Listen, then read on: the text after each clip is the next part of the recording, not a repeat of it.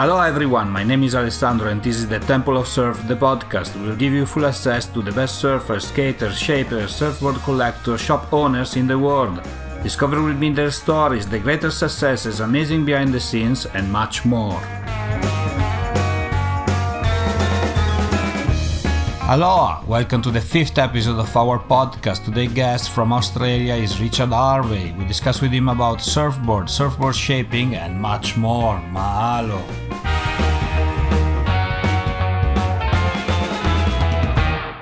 Hi, Richard. Welcome to the show. Where are you today? I'm at Burleigh Heads today. I've just come home from work. I've been uh, in the shaping bay, in the glassing bay, bits and pieces of everything today, and the surf is absolutely cracking on the Gold Coast today.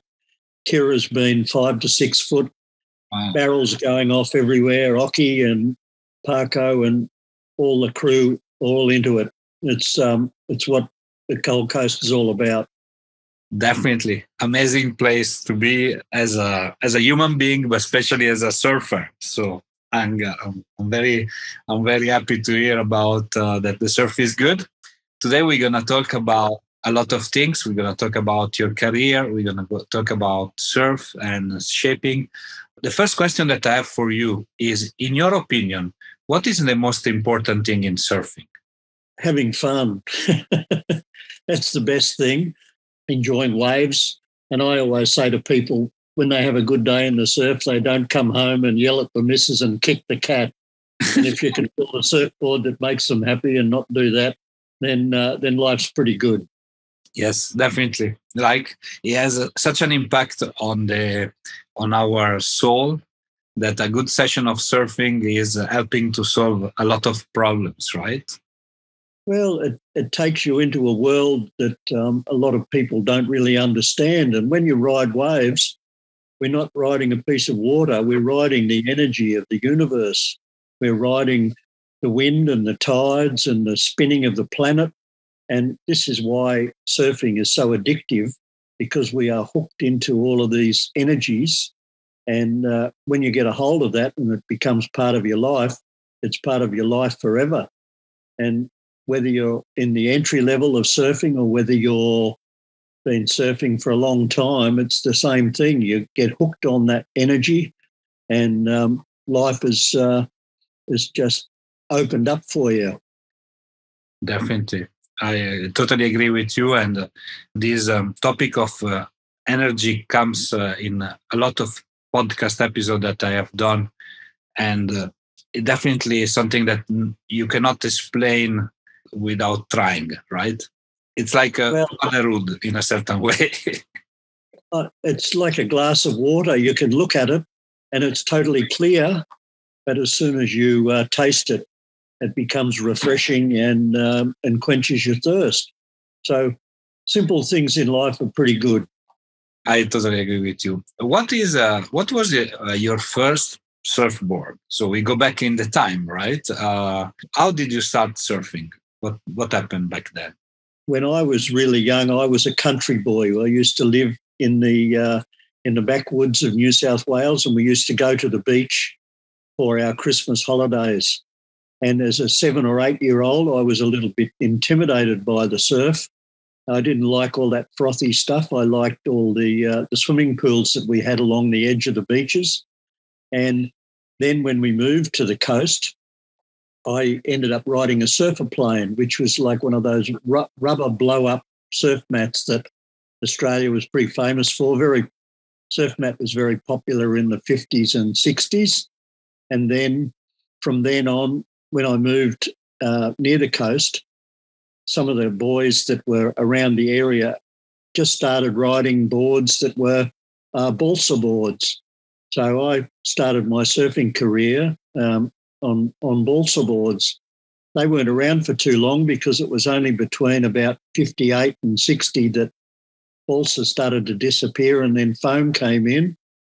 And then I ended up buying second-hand boards off the local hotshots and that's where it pretty much started for me. But I lived near the beach, walking distance, probably only a couple of hundred metres from the beach. So after school, all the mates and myself, we'd all hang out down the beach and uh, run amok, as the as the Australian expression goes. And those balsa wood boards, you still have them by any chance, or or they uh, disappear? No, the one that the one that I had, I think it might have been a cut down from a big old balsa board. It was very thin and very flat, and I've never been really a collector of any of my old boards because I've had a couple of situations where people that are collectors go, "Oh, this one's for sale." They want they want money that's just. I think I can build ten boards myself for something like that. Mm. So um, I just went. Someone else can be a collector. I'll be the, I'll be a shaper. that was a, that was a much better option for me. I see that. I see your point. Yeah, of course. And if you have 10 for one, it's a good deal. the other thing, too, is you've got to store them somewhere mm. and you've got to carry them around when you move from one house to the next. They get damaged, they get they just get old. And I go, oh, I've got surfing as a memory rather than the surfboard. I always say the surfboard is the vehicle that we use to go surfing on, and it's riding the waves that is the important thing.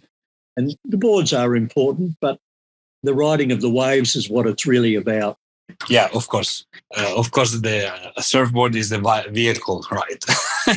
Without that, there would not be surf or body surf in some cases, right? Well, I, we used to do that too before leg ropes. You, you needed to be able to body surf because if you lost your board, you needed to be able to catch a wave in to uh, pick it up. So when I grew up, a lot of the younger guys we body surfed, we rode surf mats, um, we rode surfboards, and then most of the early good surfers were all shapers. If you look back and you look at all the good surfers that coming out of California or even Australia in the early 60s, yeah. the good surfers were all shapers. They were the ones that were building boards that were just for them to ride waves on. So the better the boards, the better the surfing became that's the revolution of uh, surfboard, right? But uh, I I spoke. Uh, I had the opportunity to speak with uh, I don't know uh, Joey Cabell, for instance, or uh, the late Greg Noll, and they told me at that time, you know, the first surfboard that they ever made were they were there. They they it was like kind of a trial and error process, right? You were building your own surfboard, but you were surfing on it, so you were you knew what was uh, right or wrong. And I spoke with the son of um, Eric Gordon. He's the son of uh, Gordon Smith, you know, and he was telling me my father and his friend, they were they didn't create this company to sell surfboard. Initially, they created this company produce surfboard for them to surf. And I thought it was very interesting and very nice. Um, I came from a different angle. My entry into the surfboard industry was all about that I was very one of the very early professional surfers, along with Nat and Midget in Australia. Mm. And I used to get paid not very much; it was about fifteen dollars a week, and um, I'd get a car with some petrol that had the uh, my sponsor's name written all down the side. And then when there was no surf, I'd go into the factory and I'd go, I want to do something, teach me something. And so for about six months, all I did was cut plan shapes. And then for another six months, all I did was get this big electric planer that was probably about 15, 16 inches long that the carpenters used to use and cut down all the blanks. And so my first surfboard was probably not so much um, a board, but uh, an experience of learning how to cut plan shapes and use the planer and work my way into it into things. My my first surfboards, to tell you the truth, weren't very good. I suppose a lot of people say that when they first started. I was always more interested in surfing than shaping, but I found that by building good surfboards, my surfing improved, and I wanted to understand the dynamics of how surfboards worked, and that's where I've spent a lot of my later years in the surfing industry of just trying to work out what's what works. And now, as we understand the smaller dynamics of design, it's now gone into the intricacies of um, surfboard shaping rather than just a plan shape or the fins or the plan shape. Definitely. And for you, it was a, an opportunity to be around shapers, to, to learn their craft and and then down down the road uh, is the job that uh, you you did for the last 50 years right so yes that's right. Well some of those shapers and there were some great people that came in. Um, bob kennison was one of the guys that was one of the early shapers in the 60s and he's still shaping now as far as i'm aware. So i know he's still around um, down at crescent heads. But um, he came into my shaping bay when I thought I'd shaped a, a, really good surfboard and just did big circles and crosses and things. And he went, That's a lump, that's a hollow, that's not right, that's wrong.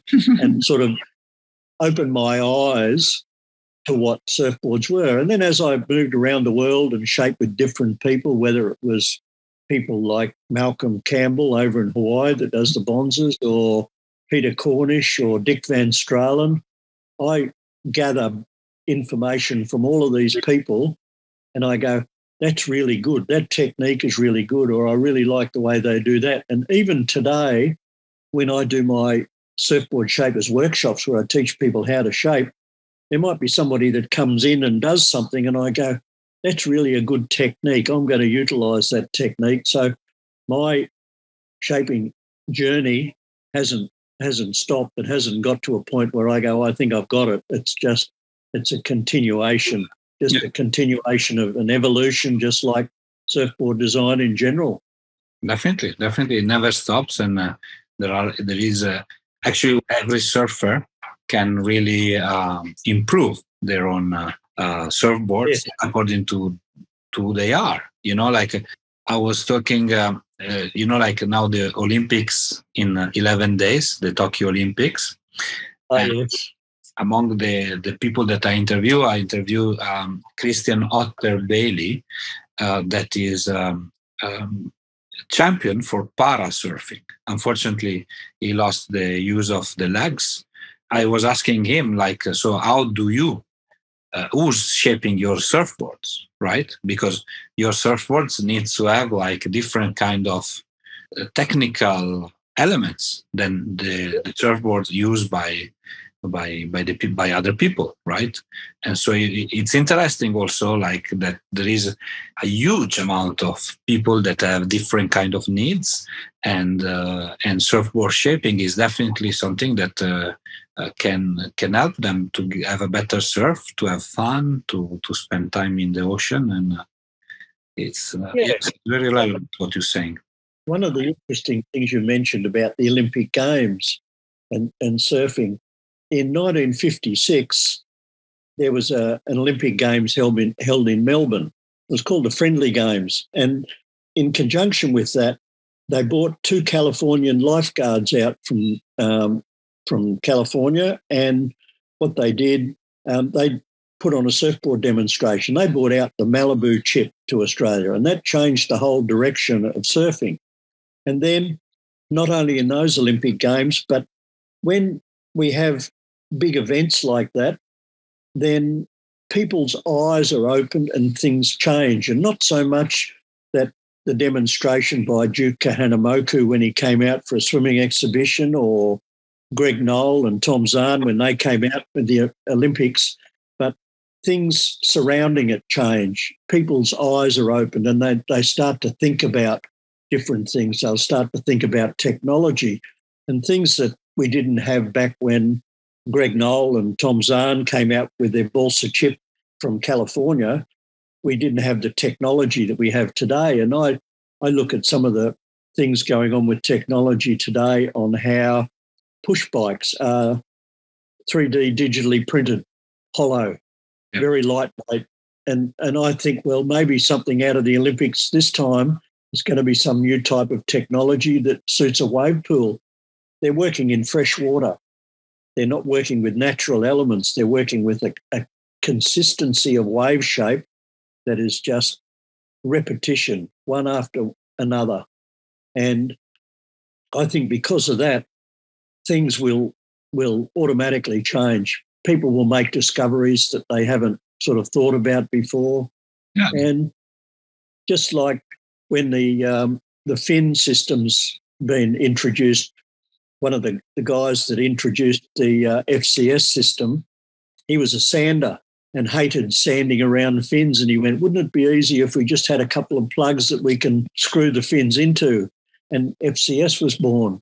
So, such a small thing can yeah. change the whole direction of what surfing is and what surfboards are. And I mean, the shaping machine obviously is one of the big things that's changing. I guess I'm a little bit from the old school where I still do everything by hand.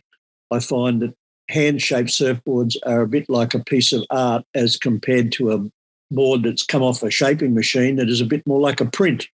And a piece of art, original piece of art, has emotion to it and it, it changes and as the light changes um, on a painting, whereas a print will be the same all the time.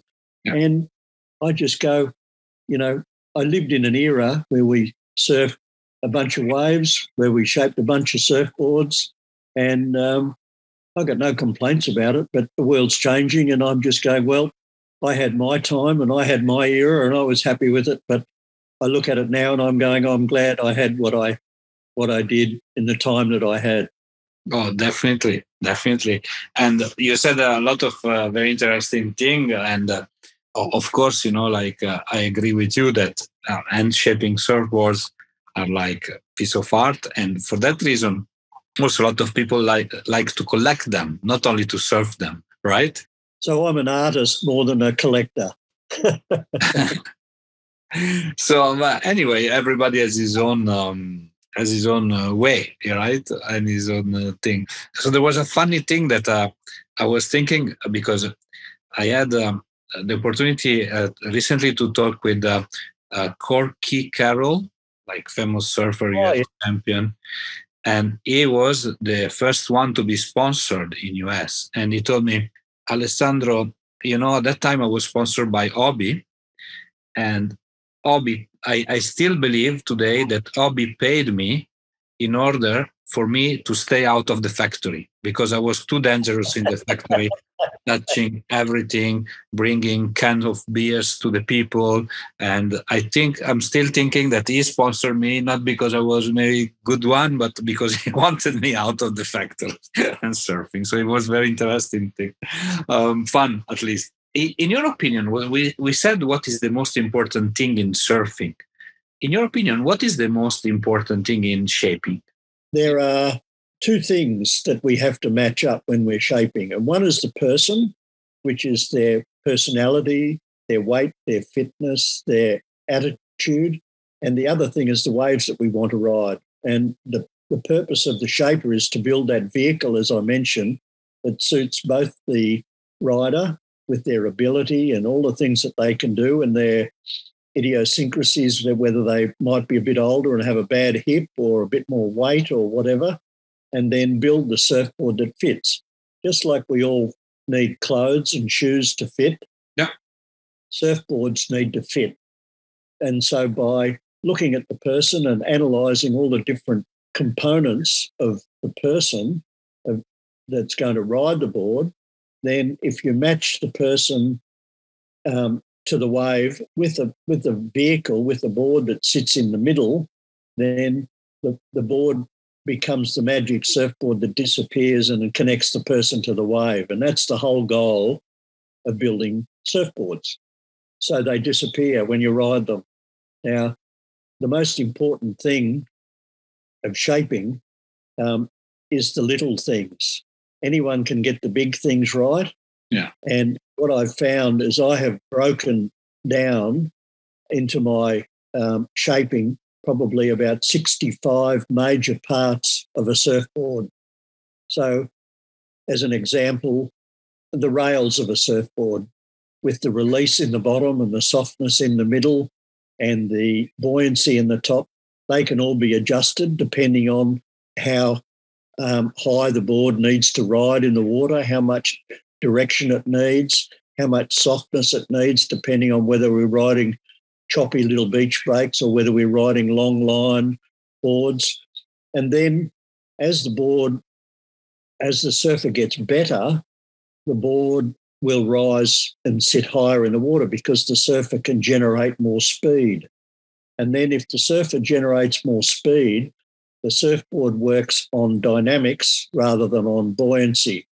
And it's a bit of a, a bit of an illusion that people are talking about literage in surfboards because literage is related to if the surfer is really good, they can ride a really thin surfboard because they can generate the speed by their maneuvers, by the position on the wave. So the literage helps people on entry level of surfing, not so much surfing itself. So by breaking up all the parts of a surfboard, and it's I often explain it like it's looking at a really nice car driving down the highway, and you go, that that car looks really nice. It's a four wheel drive. It's nice color. It's got white leather seats inside it, all of that. But it's the gearbox and the brakes and and the engine that makes the car work. And people don't go in and go, oh, that's a nice car. What's the valve clearance? Or what's the tension on the brakes? Or what's the whatever? That's the manufacturer's responsibility, just like it is with the shaper. And as we break down all the components of a surfboard into all the different parts, then we start to go, this person needs more of this and less of that. And it needs to be a little bit softer in the water because the person isn't as competent or these are all the areas that I look at when I'm shaping. So I wouldn't say there's one important thing in as far as a surfboard is concerned. I'd say it's getting all the little things right. It's the little things that, you know, make the surfboard work rather than how it looks. And I have people come in and they go, Oh, I'll give you the important things first. I want it red with yellow fins. And they leave the rest up to me. Just like if you go in and buy a new car and you go in and buy it by reputation and you're going, I want to buy a Ferrari, but I want it, you know, a particular color. People don't go in and go, I want to buy a Ferrari and I want you to change the valves or I want you to change this. They just buy it by the appearance. And that's what's happening with surfboards that people are buying by appearance rather than by the understanding of it. So I like to tell people not what to ride, but what all the different things do and let them make the decision. And then when they get on it, they'll go, Oh, I want more of this, I want less of that.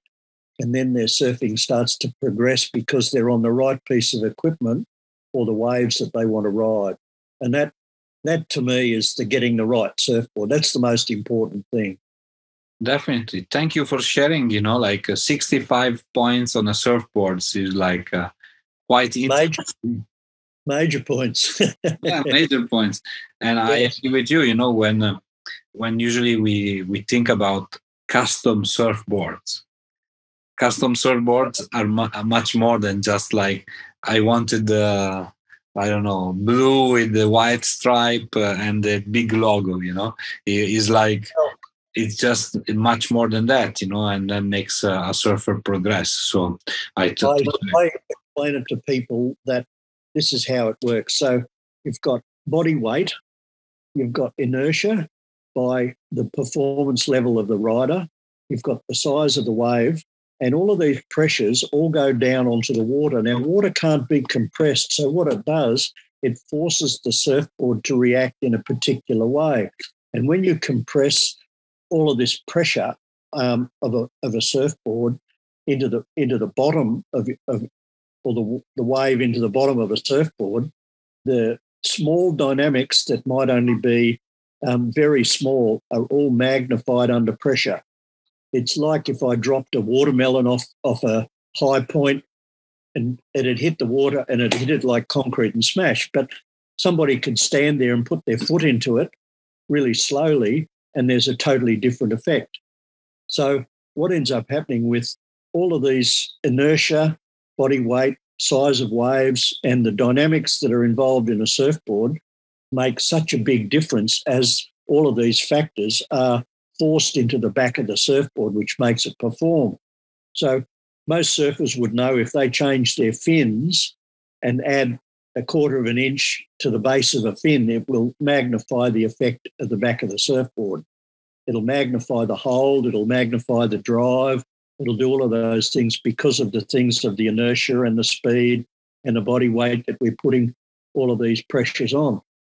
I was traveling with a, um, one of my um, guys that I build boards for who does reflexology.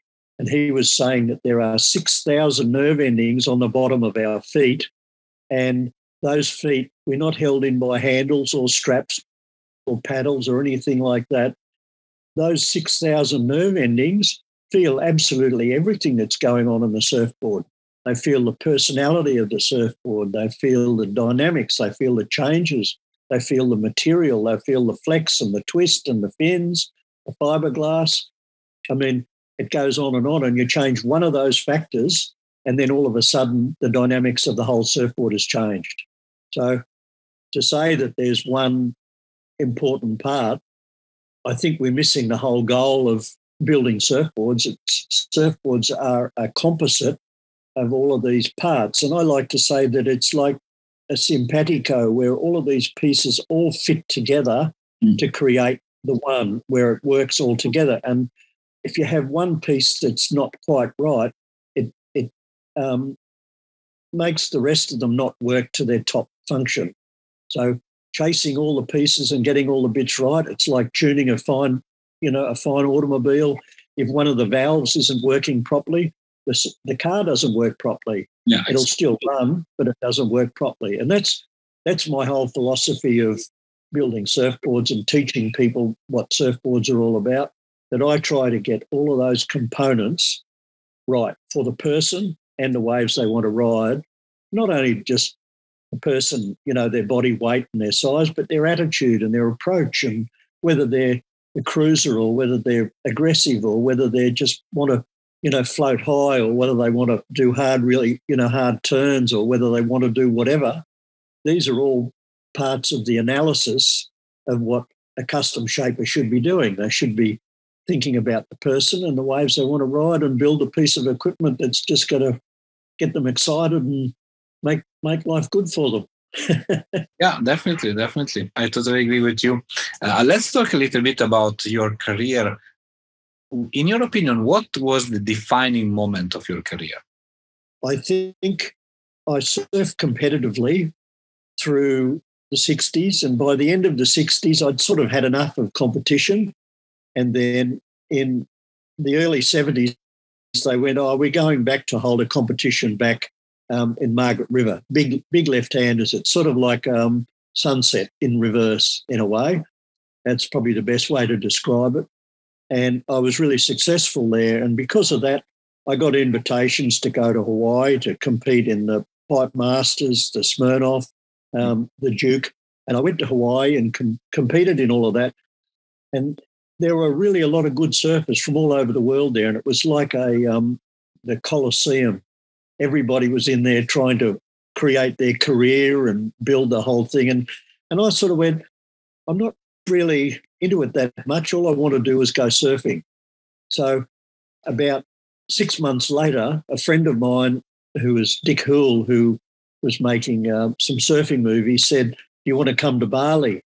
And I went, That sounds pretty good. We'd seen a bit of the movie of The Endless Summer and um, we'd, uh, sorry, not The Endless Summer, uh, Morning of the Earth.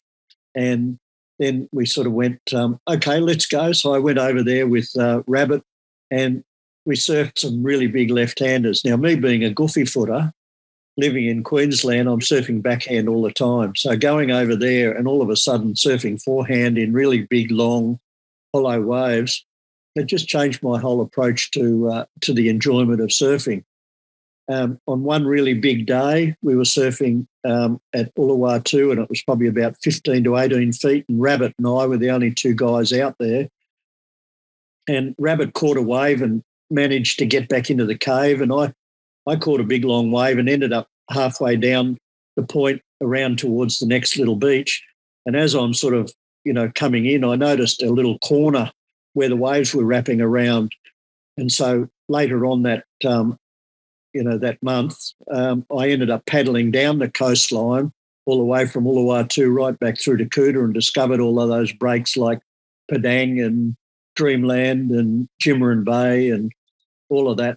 And that was probably one of the turning points in my excitement of, um, of discovery of surfing, finding breaks that were just perfect. And we went back there the next year and uh, Bill Delaney, who made a movie called Free Ride, and Dick Hoole made um, surfing movies as well. They filmed it all, and by those by the time those movies had sort of come out, I ended up going to Europe to do some shaping in England and France. And by the time I'd come back, um, the word was out. And now look at it, it's um, Padang has got hotels out on the end of it. For me, going there at that particular time was probably one of the uh, the turning points, I would say, in my life. And the things that led to it were going back and competing in the Australian titles, going to Hawaii and going, what do I want to do? Do I want to compete or do I just want to go surfing? And that was my goal. And by going surfing, I went, I guess I've got to fund it somehow. So I went, well, the only way to fund going surfing is shaping. So that was, they were two things that sort of fitted, fitted together really nicely, surfing and shaping. And they still are, although I'm not surfing that much these days. I'm you know, getting on in years and getting a bit slower, and it's a bit hectic here on the Gold Coast with the uh, the young crew. And I, I had my time, and now I can leave it to them, and um, they can they can have it. Um, so thank you for for sharing. Uh, in effect, uh, I I read about uh, you discovering Padang, and I didn't really understand. Now I understand, and I, as you said, now it's a hotel. There is the uh, Rip Curl Padang Padang contest. There is a lot of uh, a lot of things gravitating around that, and you when you discovered there was nobody, right? So it was like fantastic. Nobody. Uh, that's right. It was um, it was a good experience, and the story of paddling down from Uluwatu and Padang and all of those things. There were lots of little bits and pieces that were, you know, were good about it. One of the interesting little stories that came out of it was that a friend down on the beach in Kuta had a set of shells around his neck. And the only place you could get those shells were on the beaches of Hawaii, and they were called puka shells. And the puka is like in Hawaii is like a hole. If you've got a hole in your surfboard, you've got a puka in your hole. But Mike Purpus did a Playboy spread or a Playgirl spread with a, a naked, you know, lounging picture of him wearing a set of puka shells. So puka shells became quite famous. And this person was on the beach in Kuta, and I said, "Oh, you've been to Hawaii. You've got a set of puka shells." And he said, "Oh, I've never heard of puka shells, but I found all these all these shells on the beach down in Dreamland."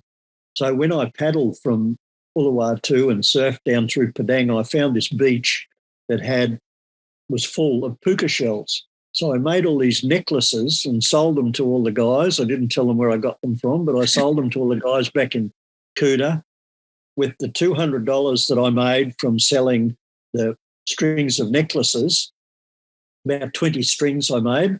Um, I went and bought 200 Bali shirts for a dollar each, took them to France and sold them there for $25 a shirt. And that paid for my whole European trip. So not only was I just finding a surf break, all of these other little stories sort of ran off it as well. And that was my little adventure off into Europe, which all paid for by shells from uh, from the beach at Dreamland. Very smart of you. It's the second time during the interview that you're telling me uh, that you're trading. You know, first you're saying I trade my board for ten. Now you're trading uh, shells to shirts, shirts to holidays. So that's right. Well, and interestingly enough, when I flew, from uh, Bali to Europe, I flew through Russia. I went through Moscow at the time, and people were going, "What do they want in Russia?"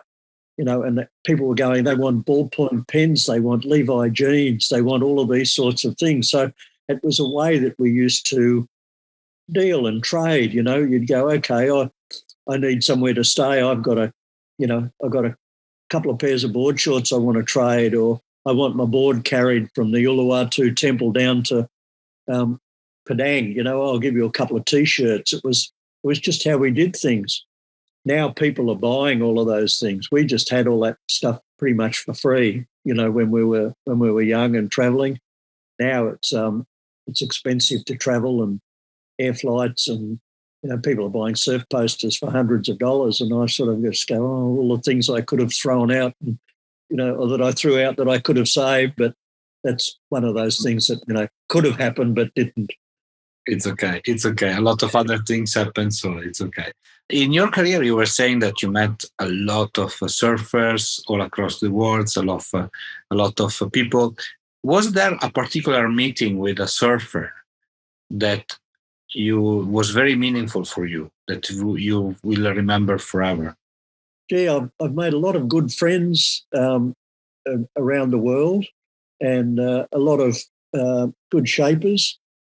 Um, probably the ones that really stand out would be um, Dick Van Straalen on the coast here. We we worked together with the Burleigh Head Surf Company, and I learned a lot from Dick.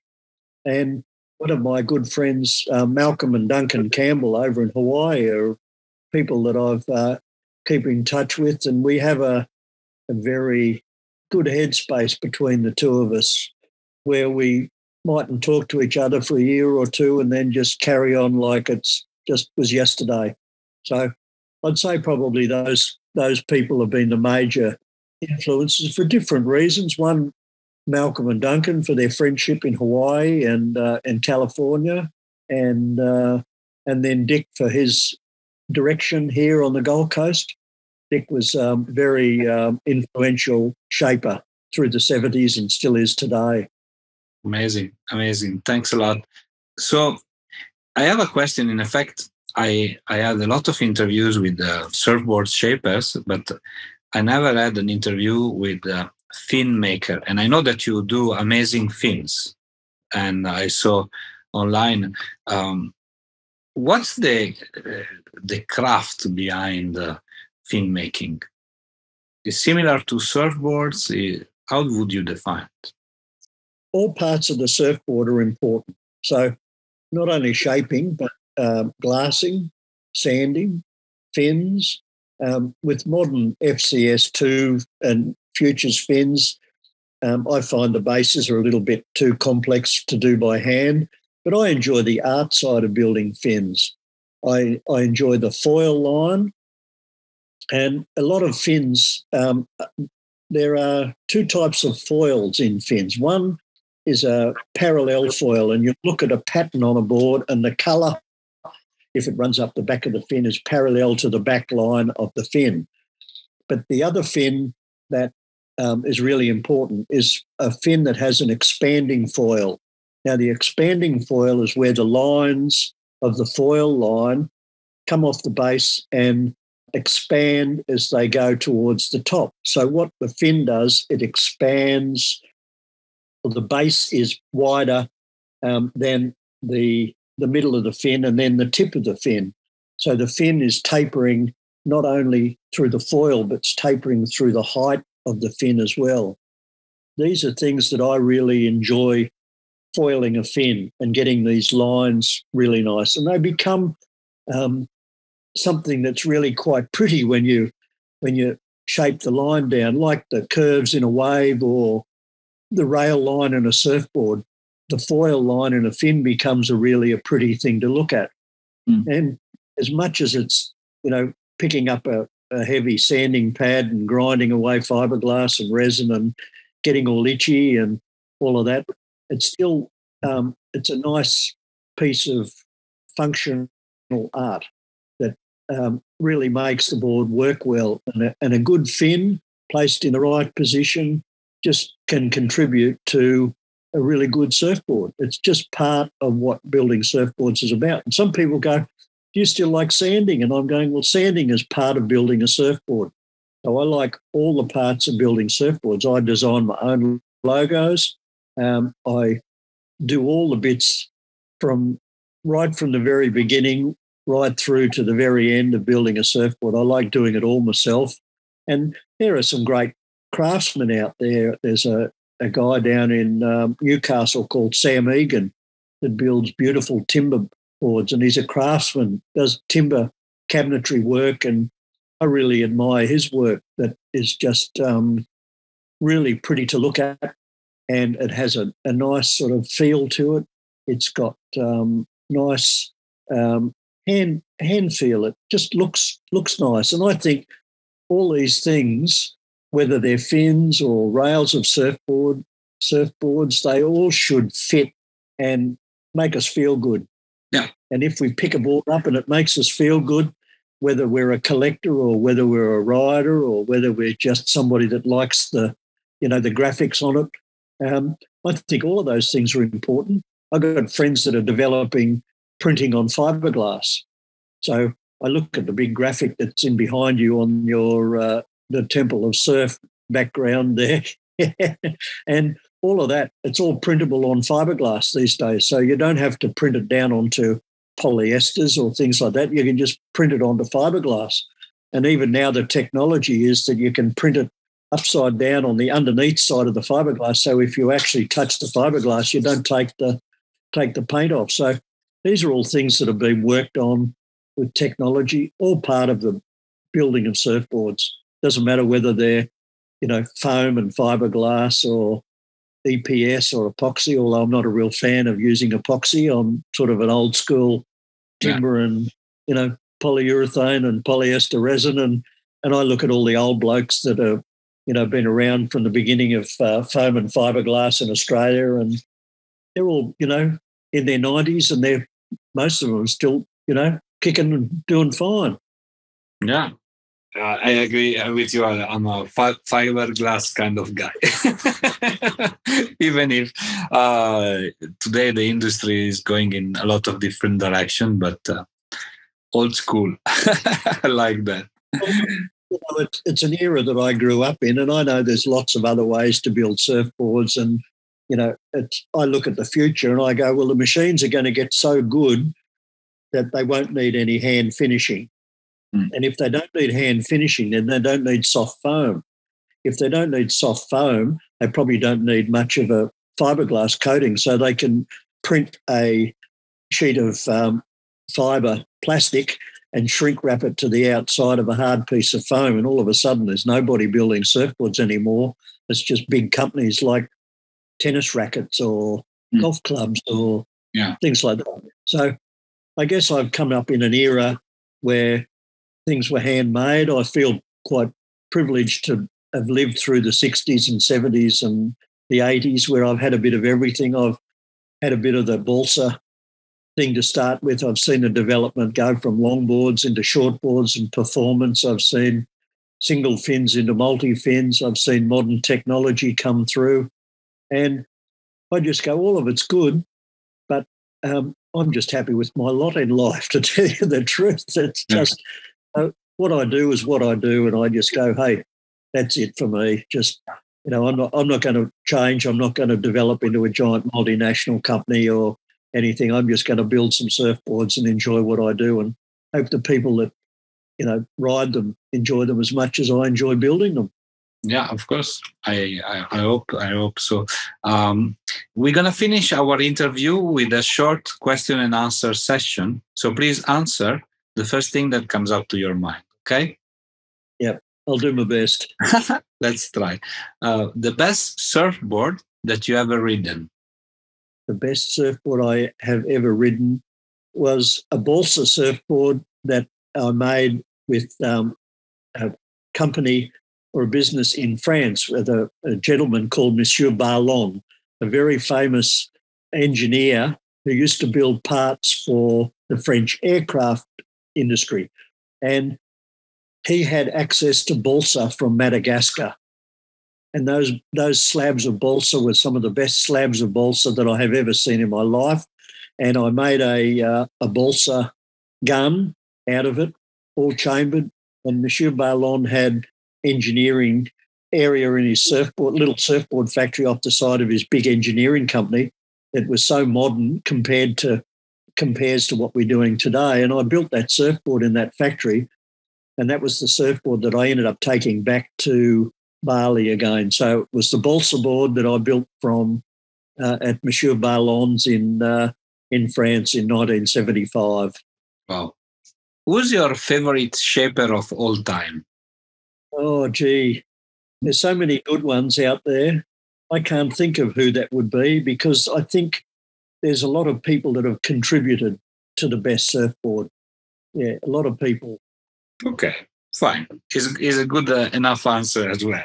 that doesn't need to be uh, best I can give you. One particular. a personal question your favorite song I'm a bit of a fan of Bob Dylan. Ah, So uh, um, that'd probably be um, one of the uh, one of the favourites that I'd have, um, and I'd have to go back and and think about it. But like like surfboards and shapers, I enjoy a lot of lot of variety. But as as somebody that writes music and plays music and is poet poetic and um, captures a sign of the times. I think all of those uh, all of those Dylan songs would be what I'd consider some of the best stuff that I'd like. Of course, I agree with you. Bob Dylan is a legend and an incredible artist. What's your favorite surf spot? Oh, Burleigh Heads in 1970s. No doubt about it. We we didn't have any groins. The sand was tight to the headlands. We had lots of storm swells, so we got lots of big swell. We got lots of power, and because Burley is such a long wave when it's good, it'd have all these different little sections in it. It'll have little wedgy bits and hollow bits that'll drive you down the line. So definitely Burleigh in the 70s. And I haven't seen much of it like that since then, although looking at the photos of Kirra for the last two or three days, I'd say that's Kirra's probably some of the best waves that I've seen for a long time too. But Burleigh's my favourite spot. okay. Who's your favorite surfer of all time? I suppose the most influential surfer um, would, uh, in my era, would have been Nat. I saw Nat do a lot of things that um, I hadn't seen done before. When we were in France, he was riding a keel, and we were riding eight foot Hossegor, um, and he was riding backhand, and the keel was taking him right up into the lip in the top of the waves, and I could see the backs of his knees. He was that high in the lip, and he was running really big long lines. And also in the 60s, we surfed Tea Tree together before he went to the world titles in California. And even now, that longboard surfing is still some of the best longboard surfing that I think I've ever seen, even compared to stuff today.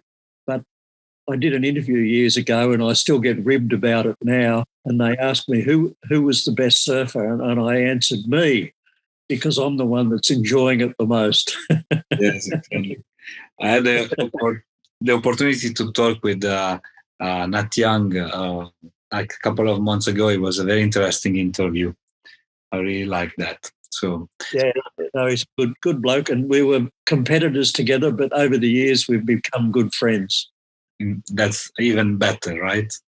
Yes. The last question is a little bit unusual. We ask everyone on the show, but has nothing to do with surf. so we want to know your best relationship advice. My best relationship advice: Yes. um, be nice to everybody. yeah, I agree with you, right?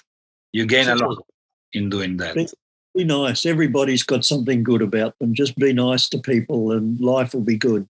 Yeah, definitely. And if uh, everybody could be nicer, uh, you know, the world would be much better today. So Just be nice. Yes. Fantastic. Richard, thank you so much for being with me on the show today. And I look forward to talk to you very soon. Thank you very much too. Enjoyed it. Ciao. Bye bye. Talk soon. Bye.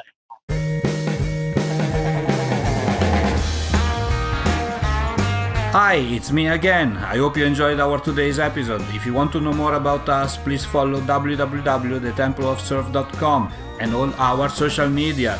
Mahalo!